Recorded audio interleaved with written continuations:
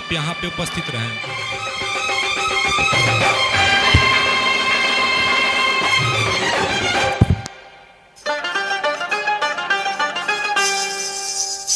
मेरे